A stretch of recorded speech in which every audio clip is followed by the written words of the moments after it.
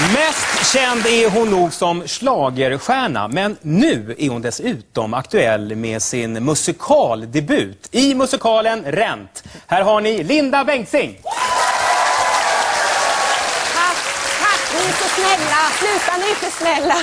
Jag vill bara börja innan liksom ska sätta igång intervjun och säga att jag vill inte att vi pratar någonting om det här med det som har varit med Magnus Hedman och det, utan jag vill att det är liksom ett avslutat kapitel, det är mitt privatliv. Ja, ja, absolut. Nej, nej. Alltså, jag hade faktiskt inte tänkt att prata om det, Linda, utan jag tänkte vi skulle prata om musikalen Rent. Din roll Mimmi som du gör där. Berätta, vem är Mimmi? Åh, vad roligt! Ja, jag spelar en eh, prostituerad narkoman.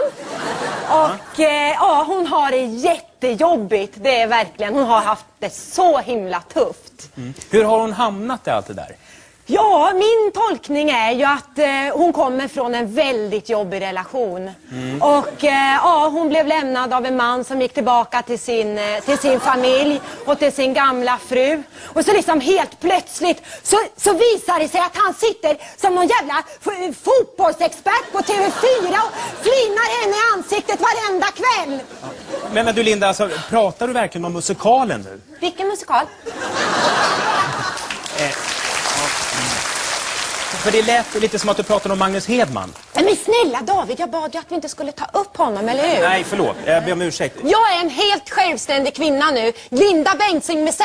Hon är alltså självständig, jävligt charmig. Ja, ja men det är jag faktiskt. Jag är nog en av slager, liksom Sveriges charmigaste tjejer. Men sen är det en grej till.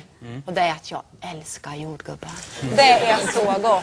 Det är min grej. Eh, Linda, eh, lite senare i programmet så ska du ju framträda med ett nummer från musikalen Rent. Eh, Så gå och klä om så kommer du väl strax tillbaka? Ja du, det kan jag säga. Att till mig får han inte komma tillbaka. Men Vem, vem då? Ja men du vet väl vem jag menar? Ja, Magnus Hedman. Nej men dra inte upp det igen!